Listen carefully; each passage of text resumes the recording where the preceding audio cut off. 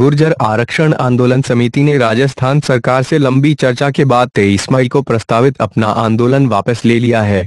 दोनों पक्षों के बीच शनिवार को वार्ता के बाद 16 बातों पर समझौते हुए।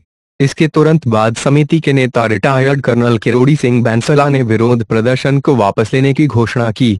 राज्य के मंत्री राजेंद्र राठौड़ ने कहा कि गुर्जर नेताओं के साथ बातचीत 10 घंटे तक चली। यह दो हिस्सों में हुई। उन्होंने कहा गुर्जरों की लंबित मांगों को एक तय समय सीमा के भीतर हल कर लिया जाएगा और इसका समय से निवारण सुनिश्चित किया जाएगा। अतिरिक्त मुख्य सचिव सामाजिक न्याय एवं सशक्तिकरण जेसी मोहंती को नियमित अंतराल पर प्रक्रिया की निगरानी के लिए नियुक्त किया गया है। समिति के नेता हिम्मत सिंह ने कहा कि सरकार ने समुदाय की मांग के अनुसार ओबीसी कोटा के उप विभाजन के लिए अपनी सहमति दी है। उन्होंने कहा हम बीते तेरह साल से अपने अधिकारों के लिए लड़ रहे हैं और इस बार आशावादी है कि हमारी मांगें पूरी हो जाएँगी।